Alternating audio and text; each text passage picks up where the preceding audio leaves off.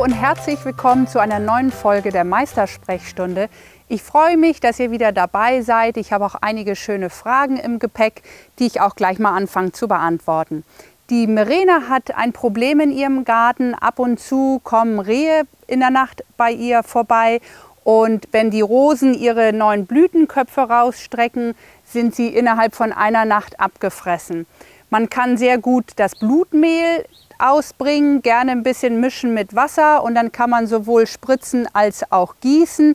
Also auf jeden Fall in dem Bereich der Rosen oder zum Beispiel im Frühjahr sind die Hornfeilchen sehr beliebt. Und wenn man dann Blutmehl mit Wasser mischt und das ausbringt, ist das auf jeden Fall ein Mittel, was gegen Rehe hilft.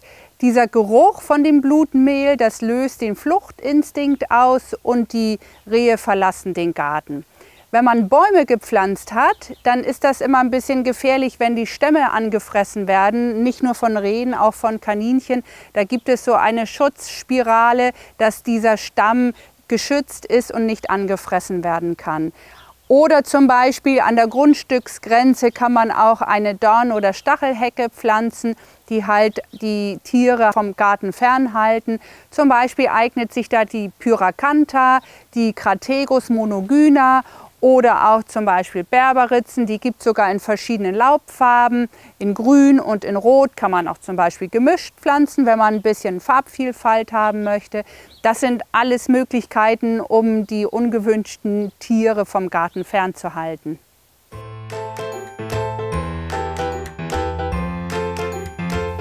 Die Karin hat eine Frage geschickt. Ihre Pfingstrosen, die über viele Jahre sehr zuverlässig geblüht haben, blühen auf einmal nicht. Bei Pfingstrosen muss man wirklich darauf achten, dass die nicht zu tief gepflanzt sind. Das hat sie natürlich zu Beginn nicht, weil sie zuverlässig geblüht haben. Aber wenn man dann im Laufe der Zeit eine Laubdecke drauf hat über, zum Frostschutz oder man düngt mit Kompost oder man macht ein äh, Pflanzerde-Gemisch auf die Pflanzen, damit man wieder ein bisschen neue Nährstoffe, Humus in den Boden bekommt. Somit wird natürlich auf dieser Staude Erde aufgebracht und somit ist die Pflanze dann theoretisch tiefer in dem Boden. Und Pfingstrosen mögen einfach mit ihren Knospen die Sonne riechen. Also sie soll wirklich direkt unter der Erdoberfläche gepflanzt werden, dass im Frühjahr, wenn die Knospen treiben, gleich die Sonne auf die Knospen scheint und dann blüht sie auch sehr zuverlässig.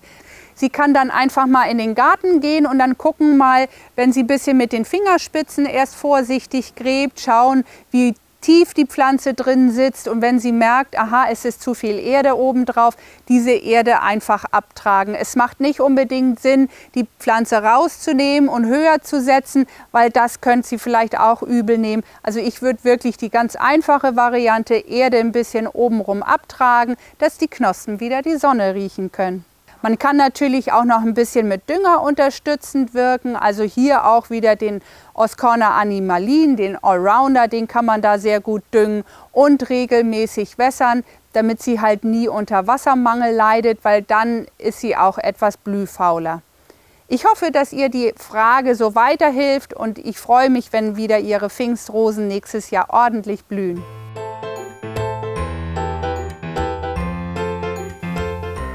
Die Ursula hat zu Blühsträuchern eine Frage. Und zwar fragt sie da, wie und wann man die am besten umpflanzen kann. Da gibt es wirklich wichtige Regeln, die man beachten sollte, damit auch dieser Strauch wieder neu anwächst an dem neuen Standort und auch wieder neu austreibt und nicht eingeht.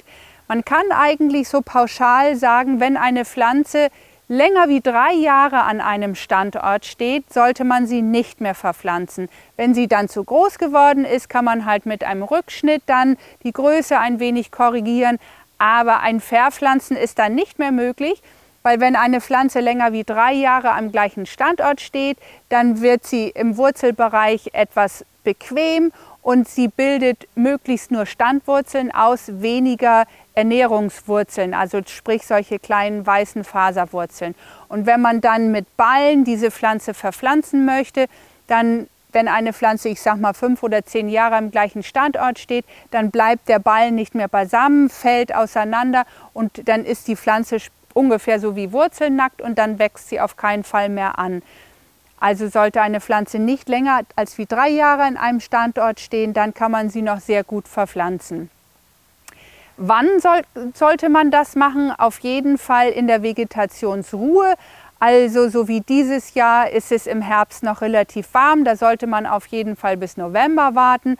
Und solange es nicht friert, kann man das vornehmen bis in den März hinein. Auch gerne im oberen Bereich zurückschneiden, damit einfach oben die Masse reduziert wird, damit die Pflanze sich erst um die Wurzel kümmert. Um ein gutes Anwurzeln dann zu gewährleisten, sind wieder die Basics zu beachten. Pflanzringform und dann regelmäßig gießen, sollte es dann über längere Zeit wieder trocken sein und dann sollte eigentlich dem Anwachsen nichts im Wege stehen.